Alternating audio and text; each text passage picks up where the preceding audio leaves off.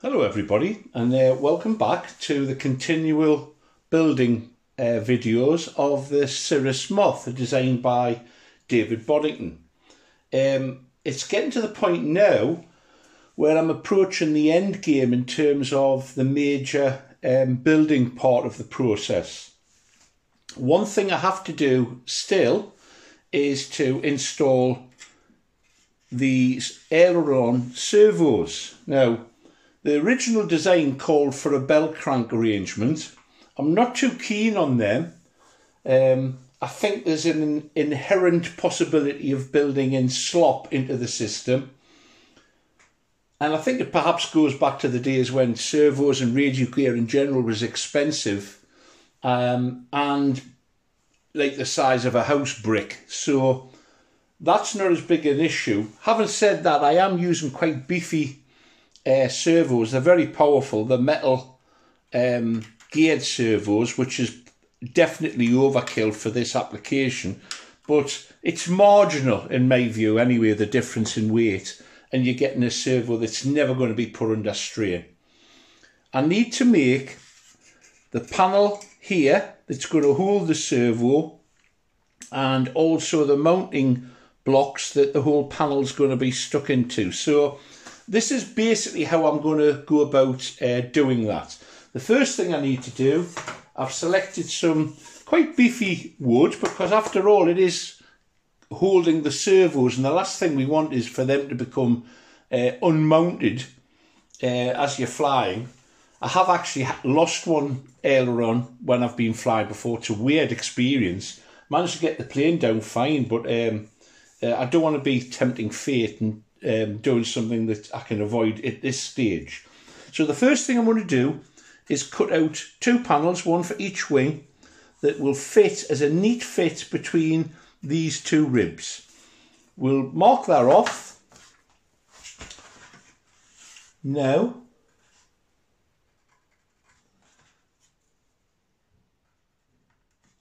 and I'll get those cut.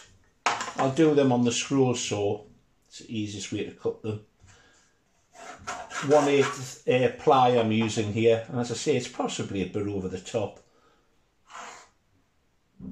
but it's ideal. So I'll cut that out, I'll cut both of them out, and then we'll come back to the next bit of the job.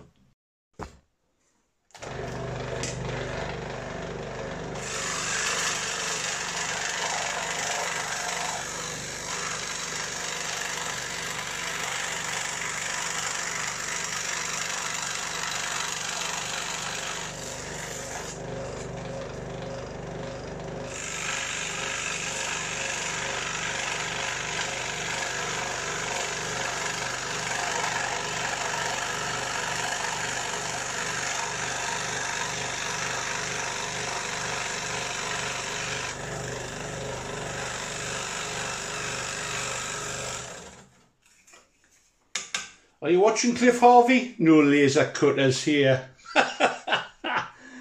no, it's a definitely old school building. So I've got two of those to cut out. I'll carry on doing that and then I'll clean them up with the uh, sand and uh, drum and then we'll try them out. This then is the hatch and if I pop it in you can see it's a neat fit. There you go. Now obviously we need something because this is a hatch and we need to remove it to act, get access to the servo. Um, we need something for that to be screwed down to. There'll be a hole in each corner and four screws to hold it in position. And for that, I need something, well, I need some hardwood. And I happen to have this available simply because it was the nearest to hand. It's actually ash, uh, which is a very tough wood and it holds a thread really well. So if I have to take it off multiple times it's not going to actually become very slack. So I'm going to make four blocks to go behind here. And once I've got the blocks cut I'll show you how I'm going to locate them in the right depth so that the hatch is flush and doesn't fall through. So four little blocks there ready to glue into the corners onto the spars and the ribs. The four hardwood blocks have been cut out now and I've put them in position inside the hatch, turned it over obviously. I've got it pushed down flush with the work surface and I'm just going to tack it so it's in position. Uh, the last thing I want to do is actually glue it to the hatch. So I'm just going to tack it along that edge, the trailing edge there for that one. I'll do the same here. I don't want to glue the hatch obviously to the blocks which would be a bit of a disaster. These you can't see as easily but I can guarantee I'm pushing them in nice and square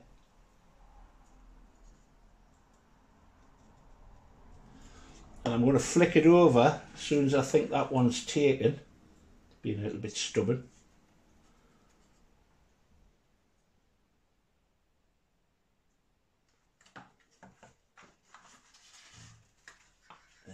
Oh, brilliant. That one's pushed, it's pushed out. Look, a little bit of glue got on there before it taken a real hold. And what I'm going to do is I'm going to add epoxy into the onto these that the CA was simply to get it in the right position at the right depth, which I've done. So that then slots in and it's flush with it. So I'll epoxy them in and then we're ready for stage two of the operation. Welcome back then. So servo in position approximately, just make sure everything's working. There we go. And what I would like to do is actually mount the servo so that the arm comes through about there and the push rod will come across and to the horn in this position. Actually, if I put it that way, it's even better because it's a closer, closer run. And that would work even better because it would be a shorter arm, which is what we're looking for.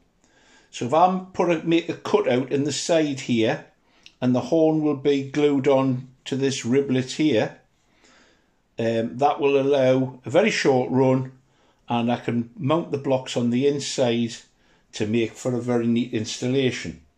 I'll cut out the aperture here to allow the arm to move, and then we'll come back and see what it looks like from the other side. I'm about to actually set up the servo now um, I can actually cut off one of these arms, they're not necessary. I'm placing the grommets in here. Um, they seem to be ignored when it comes to electric models because obviously there's not the same amount of vibration associated with electric compared to combustion engines. There's a lot more vibration and that obviously helps reduce that. Now, I have done a video on this. It's such a simple thing, but when it comes to actually putting these little brass hats in, which prevent the grommets being totally crushed, you put the bottom of the hat, or you put the hat itself, in the bottom. If you do it the other way around, when you tighten the screw down, the sharp edge just simply digs into the wood that you're screwing onto and removes any of the benefit of the grommets. So that's where you put them in. We'll put these in. And I've cut a couple of little wooden blocks. There we go. Need to put these in to get the height right. These are the wooden blocks made out of the same ash. Here's the actual platform. Now, goes in like that. I'm going to put the blocks in like this what I'm going to do, I'm going to CA them in position and I'm also going to put a balsa block behind to support this hardwood one, just simply to strengthen everything up. I may even put a smear of epoxy around everything once it's all set up. So that's basically how it's going to go. I'm going to square that up and then CA them in place the CA alone, I don't think will provide the right amount of support, but we'll see. So that one It's a bit like uh, spinning plates, trying to hold it and show you it at the same time.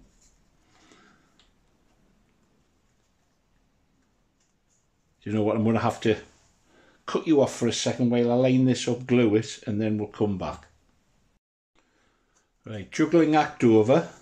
They are glued in place, but I want to increase the strength, and to do so, I'm going to actually glue in place a balsa support which increases the surface area in contact with this plate. There's one.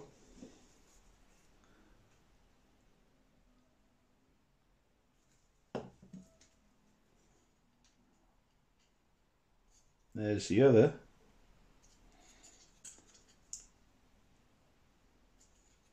There we go. And that's going to provide a really strong support for the servo. I'm not going to drop it in yet because there's a lot of here that's leaked out there.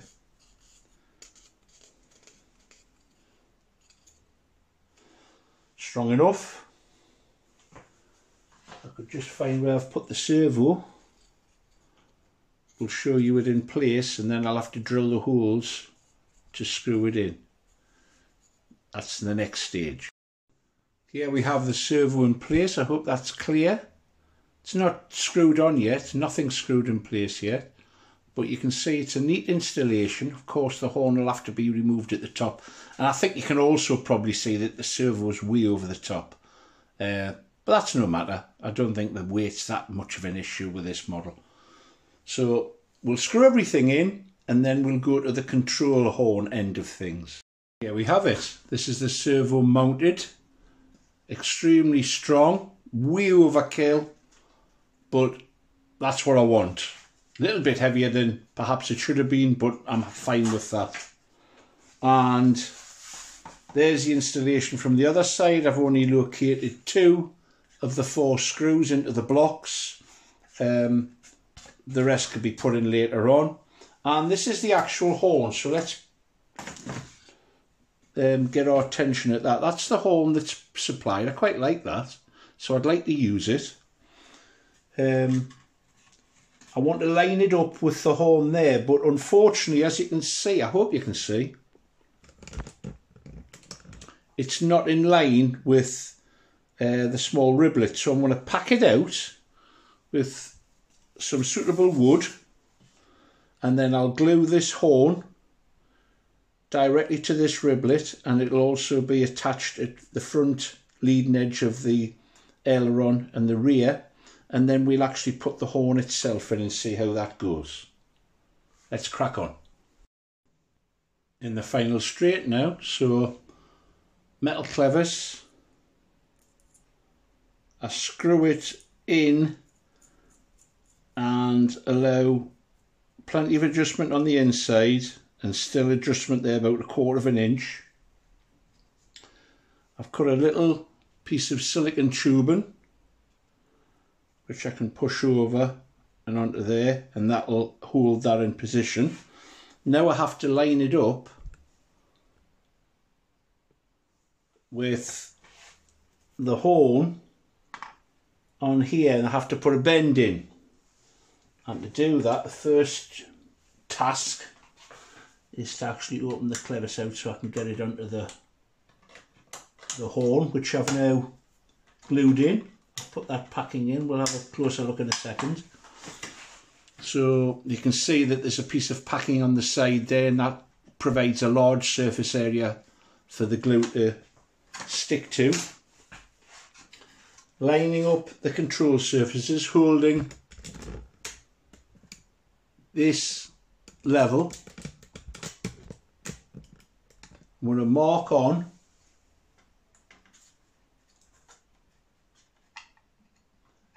position of the bend. If I make a total mess of this, I have got a little bit of play on here, far more than I'll probably need. Let's take this off. Nothing for the nails, does it? So that's the position of the bend. It's a very short arm, so it's going to be a very positive, hopefully, a very positive um, movement. And to put the bend in, for years I did it the hard way, and now I've got this device. So you line it up.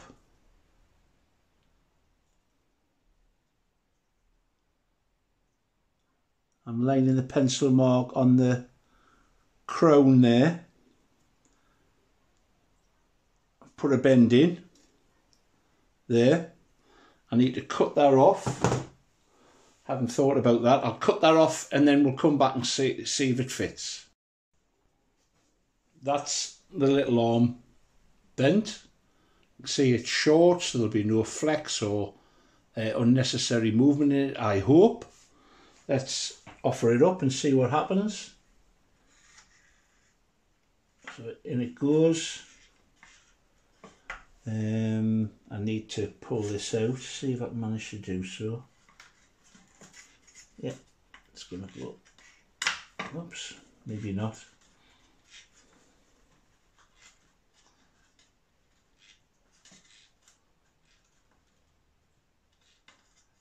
There we go. That's a nice uh, sounding click. Move the little rubber up there.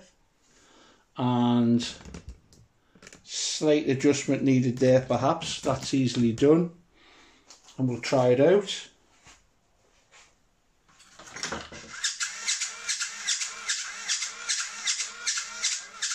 Slop free. I can see it's hitting there a little bit. I can remove some of the inside of this clevis. It's not needed. There we go. Happy with that. There's a job done. And I hope if anybody has to do this sort of job, it's nothing too daunting, just a little bit of logic how you approach it. Obviously, it needs both doing. That's a job that'll have to wait because if I zoom out, you'll see this table has reached a critical mass of mess I can't find anything.